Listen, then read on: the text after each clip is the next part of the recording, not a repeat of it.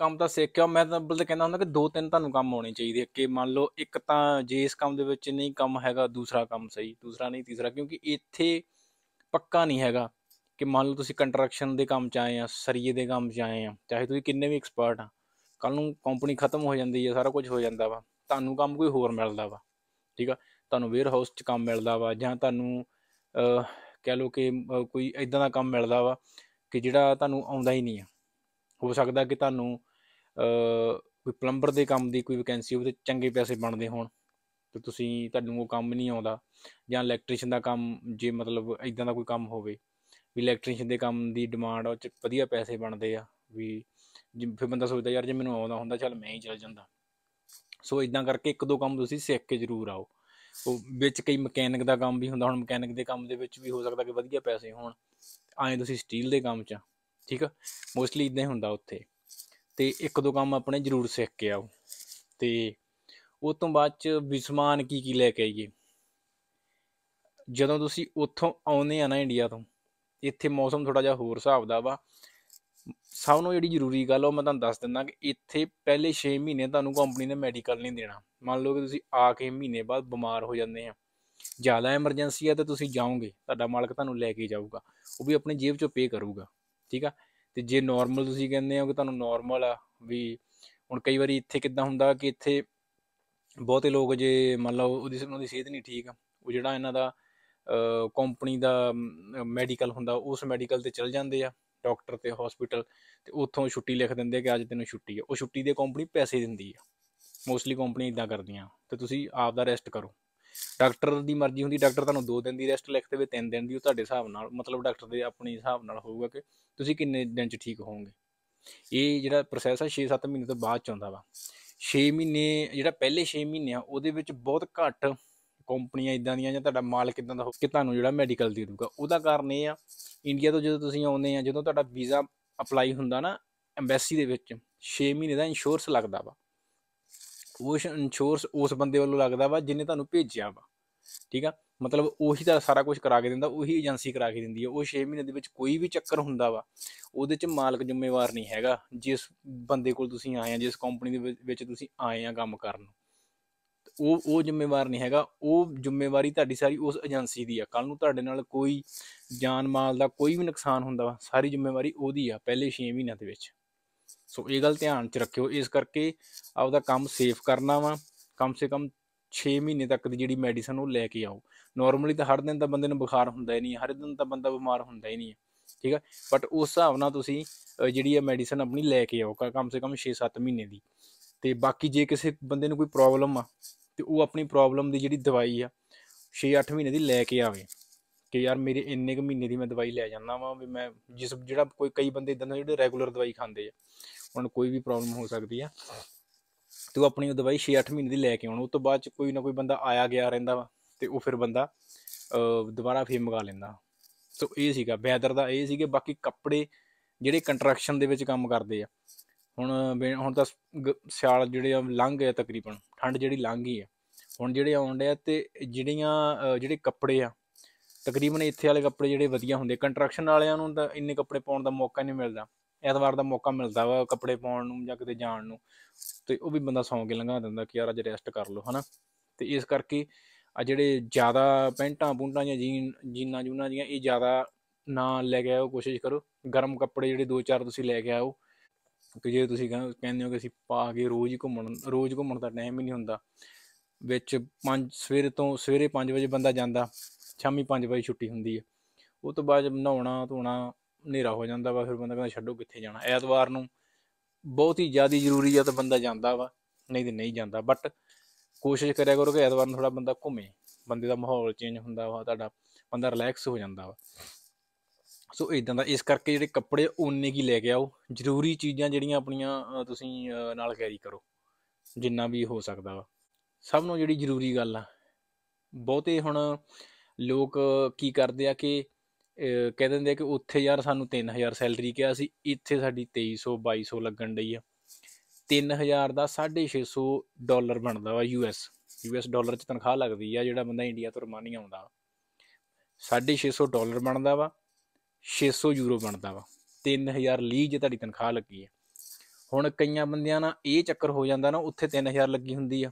ਮੈਂ ਵਾਰ-ਵਾਰ ਕਹਿੰਦਾ ਵੀ ਰਹਿੰਦਾ ਕਿ ਵਿੱਚ ਟੈਕਸ ਨਾ ਹੋਵੇ। ਉਹ ਟੈਕਸ ਕੱਟ ਕੇ 2300 ਰਹਿ ਜਾਂਦੀ ਆ।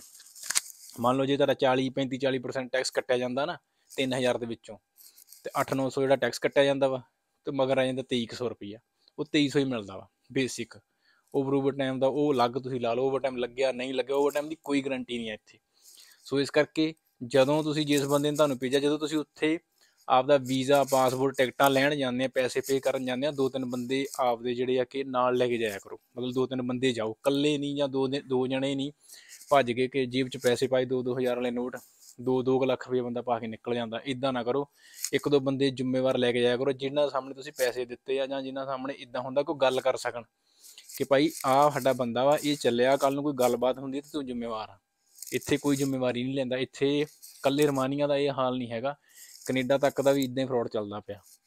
ਜਾਲੀ ਡਾਕੂਮੈਂਟ ਲਾ ਕੇ ਇਹ ਉਹ ਤੁਸੀਂ ਮਿੰਟੂ ਭਾਜੀ ਦੀਆਂ ਵੀਡੀਓ ਦੇਖ ਲਿਓ, ਉਹਦੇ 'ਚ ਉਹ ਦੱਸਦਾ ਰਹਿੰਦਾ, ਲੋਕ ਆਪਣੇ ਮੂੰਹ ਦੱਸਦੇ ਆ। ਸੋ ਇਸ ਕਰਕੇ ਕਮ ਸੇ ਕਮ ਜਿਹੜੀ ਟੀਆਰਸੀ ਕਾਰਡ ਦੀ ਤੱਕ ਦੀ ਜ਼ਿੰਮੇਵਾਰੀ ਜਿਹੜੀ ਆ, ਉਹ, ਉਹਦੀ ਗੱਲ ਕਰਕੇ ਆਇਆ ਕਰੋ। ਇਹਦਾ ਇਹ ਹੋ ਗਿਆ ਇਦਾਂ ਹੁੰਦੀ ਹੈ ਸੈਲਰੀ ਹਾਂ, ਬਹੁਤੀਆਂ ਕੰਪਨੀਆਂ ਇਦਾਂ ਆ ਵੀ 3000 ਤੁਹਾਡੀ ਸੈਲਰੀ ਲੱਗੂਗੀ, ਉਹ ਤੋਂ ਅਲੱਗ ਜਿਹੜਾ ਟੈਕਸ ਆ, ਉਹ ਅਲੱਗ ਅਲੱਗ ਦੇਣਗੇ। ਉਹ ਕਈਆਂ ਨਾਲ ਹੁੰਦਾ ਵਾ।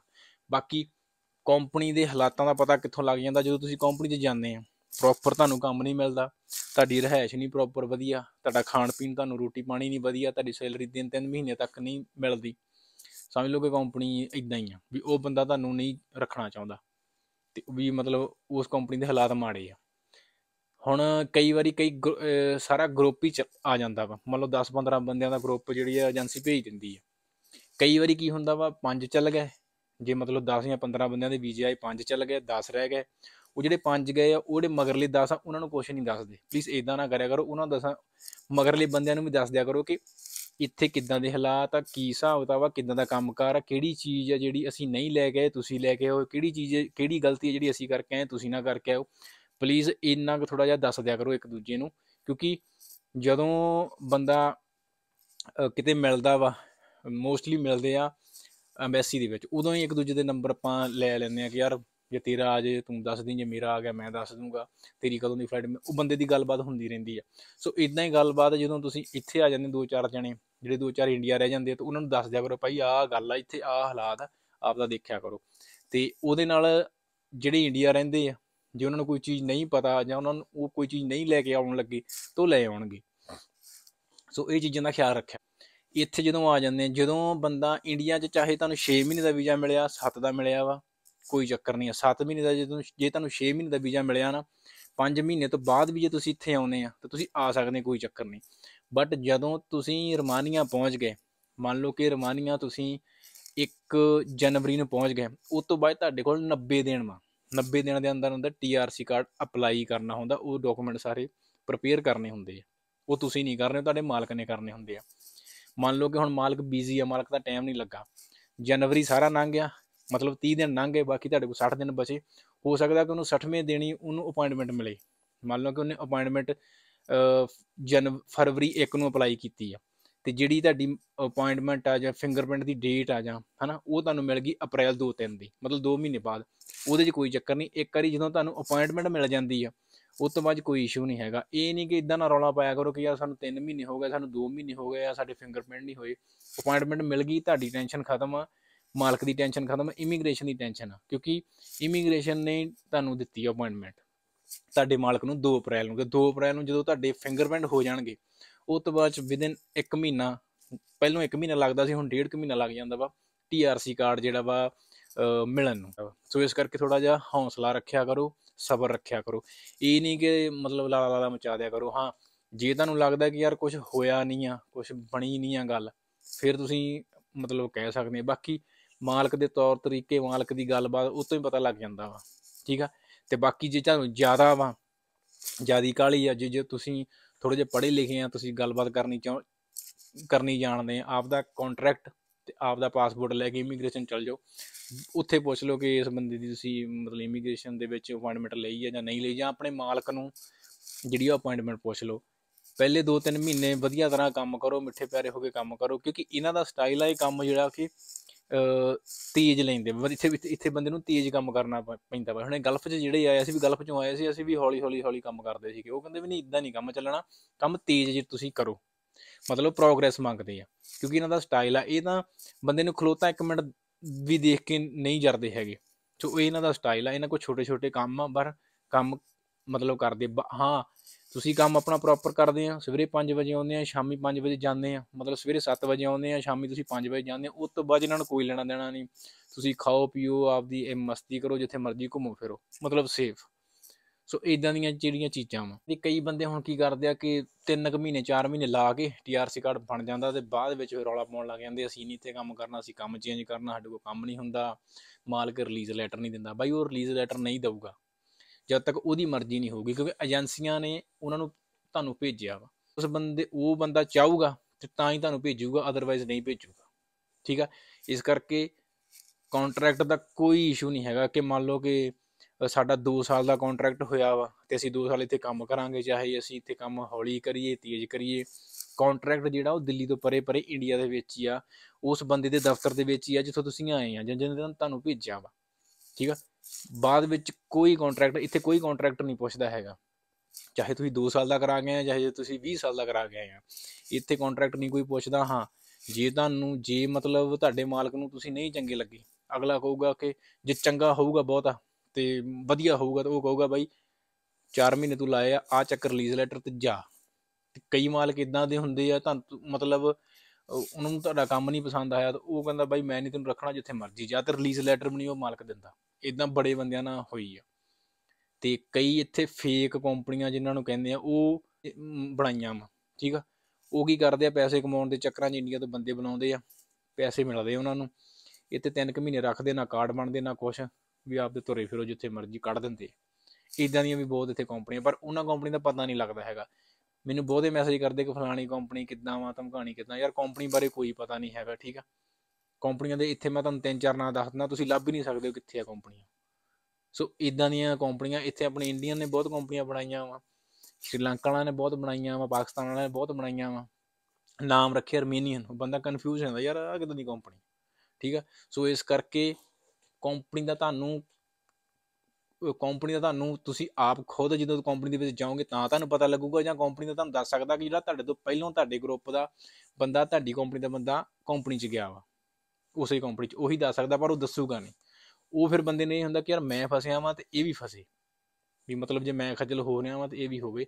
ਇਹ ਆਪਣੇ ਬਹੁਤੇ ਲੋਕਾਂ ਦੀ ਹੈਗੀ ਆ। ਬਾਕੀ ਜੇ ਕਿਸੇ ਦੀ ਕੰਪਨੀ 'ਚ ਤਿੰਨ ਬੰਦੇ ਆ ਜਾਂ ਪੰਜ ਬੰਦੇ ਆ ਜਾਂ ਛੇ ਬੰਦੇ ਆ, ਠੀਕ ਆ, ਉਹ ਸਭ ਨੂੰ ਵਧੀਆ ਵਾ। ਉਹ ਮਤਲਬ ਬਹੁਤ ਵਧੀਆ ਵਾ, ਬਹੁਤ ਖੁਸ਼ ਆ। ਜੇ ਕਿਸੇ ਦੀ ਕੰਪਨੀ 'ਚ ਦੋ ਹੀ ਇੰਡੀਅਨ ਆ ਨਾ, ਦੋ ਹੀ ਪੰਜਾਬੀ ਆ, ਬਾਕੀ ਰਮੇਨੀਅਨ ਤਾਂ ਉਹ ਸਭ ਨਾਲੋਂ ਵਧੀਆ ਵਾ। ਜ਼ਿਆਦਾ ਹਜੂਮ ਦੇ ਵਿੱਚ ਤੁਹਾਡਾ ਬਹੁਤ ਬੁਰਾ ਹਾਲ ਹੋਣਾ। ਕਿਉਂਕਿ ਜੇ ਕੋਈ ਗੱਲ ਕਰਦਾ ਨਾ ਕਿ ਪੰਜਾਬੀ ਭਰਾ ਵਾ, ਪੰਜਾਬੀ ਭਰਾ ਪਹਿਲੋਂ ਵਾਲੇ ਨਹੀਂ ਹੈਗੇ ਮੇਰਾ ਭਰਾ, ਠੀਕ ਆ? ਸੋ ਇਸ ਕਰਕੇ ਆਪਦੇ ਕੰਮ ਦਾ ਆਪ ਦੇਖੋ, ਜੇ ਤੁਸੀਂ ਤੁਹਾਡੀ ਕੰਪਨੀ 'ਚ ਦੋ ਹੀ ਬੰਦੇ ਆ, ਬਾਕੀ ਰਮੇਨੀਅਨ ਆ ਤੁਸੀਂ ਬਹੁਤ ਵਧੀਆ, ਜੇ ਤੁਸੀਂ ਇਕੱਲੇ ਹੀ ਆ, ਤਾਂ ਸਮਝ ਲਓ ਕਿ ਤੁਸੀਂ ਵਧੀਆ ਵਾ। ਸੋ ਇਹ ਚੀਜ਼ਾਂ ਦਾ ਖਿਆਲ ਰੱਖਿਆ ਕਰੋ, ਕਿਉਂਕਿ ਇਹ ਚੀਜ਼ਾਂ ਸਾਡੇ ਨਾਲ ਹੋਈਆਂ ਵਾ, ਅਸੀਂ ਐਕਸਪੀਰੀਅੰਸ ਕੀਤੇ ਆ, ਤਾਂ ਤੁਹਾਨੂੰ ਦੱਸਦੇ ਹਾਂ, ਠੀਕ ਆ? ਜਿੰਨੇ ਤੁਸੀਂ ਅਗਲੇ ਦੇ ਨਾਲ ਨਹੀਂ ਖੁੱਲੋਗੇ, ਤੁਸੀਂ ਉਨੇ ਹੀ ਉੱਪਰ ਜਾਓਗੇ, ਉਨੀ ਤੁਸੀਂ ਤਰੱਕੀ ਕਰੋਗੇ। ਸੋ ਇਹੀ ਚੀਜ਼ਾਂ ਸੀਗੀਆਂ ਤੁਹਾਨੂੰ ਦੱਸਣੀਆਂ ਕਿ ਤੁਸੀਂ ਇੰਡੀਆ ਤੋਂ ਆਉਣ ਲੱਗੇ ਇੱਥੇ। ਬਾਕੀ ਤੰਗੀਆਂ ਪਰੇਸ਼ਾਨੀਆਂ ਜਿਹੜੀਆਂ ਹੁੰਦੀਆਂ ਰਹਿੰਦੀਆਂ ਵਾ। ਘਰ ਵਰਗੀ ਰੋਟੀ, ਘਰ ਵਰਗੀ ਰਹਿائش ਮੌਜ, ਉਹ ਨਹੀਂ ਮਿਲਣੀ। ਉਹ ਘਰੇ ਹੀ ਮਿਲਣੀ ਹੈ ਇੰਡੀਆ ਹੀ। ਇੱਥੇ ਨਹੀਂ ਮਿਲਣੀ। ਬਾਹਰ ਆਏ ਆ ਪੈਸੇ ਕਮਾਉਣ ਨੂੰ, ਤੇ ਇਹਦਾ ਮਤਲਬ ਇਹ ਆ ਕਿ ਤੁਸੀਂ ਪੈਸੇ ਕਮਾਉਣੇ ਆ, ਕਮਾਈ ਕਰਨੀ ਸੈੱਟ ਹੋਣਾ ਵਾ। ਆਪਣੀ ਫੈਮਿਲੀ ਨੂੰ ਸੈੱਟ ਕਰਨਾ ਵਾ, ਠੀਕ ਆ? ਤੇ ਉਹਦੇ ਵਾਸਤੇ ਫਿਰ ਤੁਹਾਨੂੰ ਮਿਹਨਤ ਕਰਨੀ ਪੈਣੀ ਆ। ਘਰ ਵਾਲਾ ਜਿਹੜਾ ਵਾ ਖਿਆਲ ਭੁੱਲਣਾ ਪੈਣਾ ਐਕਸਪੀਰੀਅੰਸ ਮੇਰੇ ਸੀਗੇ। ਇਹਦੇ ਵਿੱਚ ਕੁਝ ਕੁਝ ਜਿਹੜੀਆਂ ਗੱਲਾਂ ਮੈਂ, ਮੈਨੂੰ ਮੈਸੇਜ ਆਉਂਦੇ ਆ, ਮੈਂ ਲੋਕਾਂ ਕੋਲੋਂ ਸੁਣਦਾ ਵਾਂ, ਇਹ ਉਹ ਚੀਜ਼ਾਂ ਵਾ। ਤੇ ਕੁਝ ਜਿਹੜੀ ਆ ਰਿਐਲਿਟੀ ਆ, ਮਤਲਬ ਕੁਝ ਜਿਹੜੀ ਜਿਹੜੀ ਇੱਥੇ ਲਾਅ ਐਂਡ ਆਰਡਰ ਉਹ ਚੱਲਦੇ ਮਤਲਬ ਜਿਹੜੇ ਜਿਹੜੇ ਵੀ ਲਾਅ ਵਾ, ਕੁਝ ਉਹ ਵਾ। ਸੋ ਇਹੀ ਚੀਜ਼ਾਂ ਵਾ ਜਿਹੜਾ ਪੰਜ ਆ ਜਿਹੜੀਆਂ ਮਤਲਬ ਤੁਹਾਨੂੰ ਤੁਹਾਡੇ ਨਾਲ ਗੱਲਾਂ ਕਰਨੀਆਂ ਸੀ। ਬਾਕੀ, ਕੋਈ ਨਵੀਂ ਨਿਊਜ਼ ਜਾਂ ਕੋਈ ਵੀ ਅਪਡੇਟ ਮਿਲਦੀ, ਮੈਂ ਤੁਹਾਡੇ ਨਾਲ ਜ਼ਰੂਰ ਸ਼ੇਅਰ ਕਰਦਾ ਵਾਂ। ਚਾਹੇ ਕੋਈ ਨਿਊਜ਼ ਹੋਵੇ ਇਮੀਗ੍ਰੇਸ਼ਨ ਦੇ ਨਾਲ ਰਿਲੇਟਡ ਐਮਬੈਸੀ ਦੇ ਨਾਲ ਰਿਲੇਟਡ ਚਾਹੇ ਪਰਸਨਲ ਚਾਹੇ ਕਿਸੇ ਜਿਹੜੇ ਕਿ ਇੱਥੇ ਕੰਪਨੀਆਂ ਦੇ ਵਿੱਚ ਆਏ ਆ, ਜਿਹੜੀ, ਜਿਹੜੀਆਂ, ਜਿਹੜੇ ਕੋਈ ਲੋਕ ਦੱਸਦੇ ਨਹੀਂ ਆ। ਸਾਰੀਆਂ ਚੀਜ਼ਾਂ ਦਾ ਮੈਂ ਜਿਹੜਾ, ਮੈਂ ਤੁਹਾਨੂੰ ਦੱਸਦਾ ਵਾਂ ਕਿ ਇਦਾਂ ਇਦਾਂ ਇੱਥੇ ਹੁੰਦੀ ਹੈ ਤੇ ਲਾਸਟ ਤੇ ਇੱਕ ਮੈਂ ਤੁਹਾਨੂੰ ਗੱਲ ਕਰਦਾ ਕਿ, ਗੱਲ ਦੱਸਦਾ ਕਿ ਸੁਣੋ ਸਾਰਿਆਂ ਦੀ, ਕਰੋ ਆਪਣੀ ਮਰਜ਼ੀ।